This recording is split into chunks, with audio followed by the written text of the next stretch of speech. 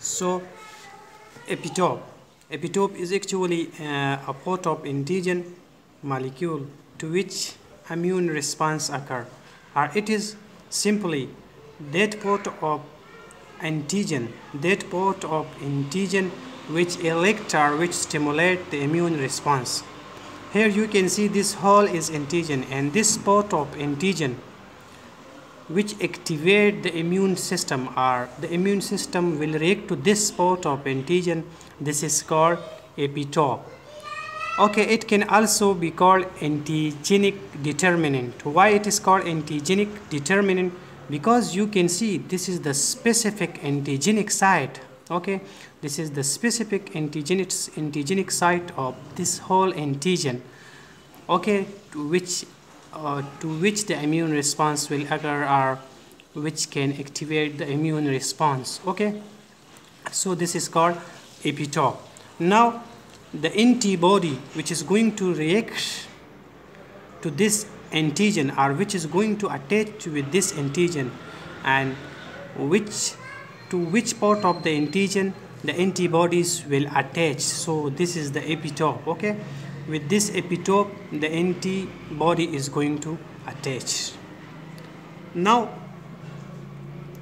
size of the epitope.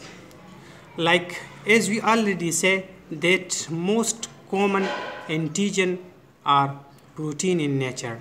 And then secondly we are doing having polysaccharide or sugar or you can also call carbohydrate.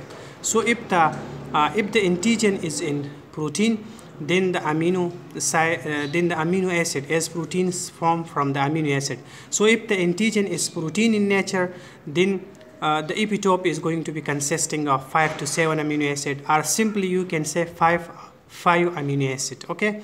And for polysaccharide just as the polysaccharide is from sugar so or it is a carbohydrate. If the uh, antigen is polysaccharide then you can say uh, it will be consisting of 5 to 7 sugar or you can simply say 5 okay? 5 sugar. Now the antigen is going to be uh, there will be different type of antigen on the base of epitope. On the base of epitope there is going to be uh, a different uh, a different antigen okay? Like here you can see we are we, we may be having monovalent antigen uh, bivalent antigen and multivalent antigen. So mono means one, valent antigen, valent means that simply it will be consisting of one epitope. Bivalent antigen which will be consisting of two epitope. Multivalent antigen which will be having more than two epitope. This whole is antigen. Here you see this is having one epitope. Here this is having two epitope and here you can see they are having more than two epitope.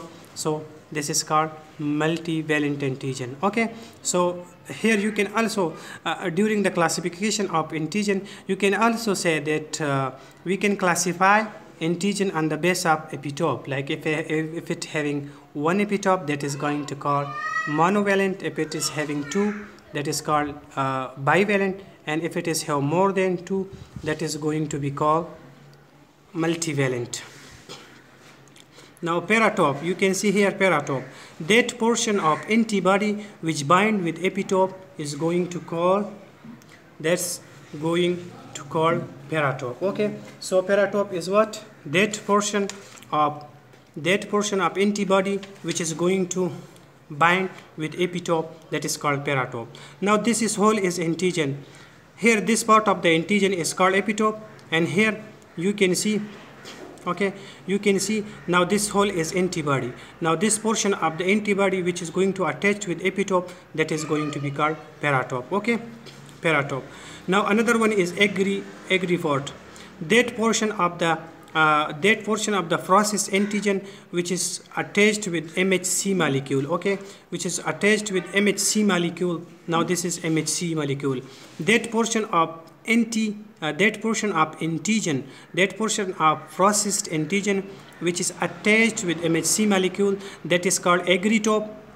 That portion of antigen okay that portion of antigen which activate the immune response is going to be called epitope.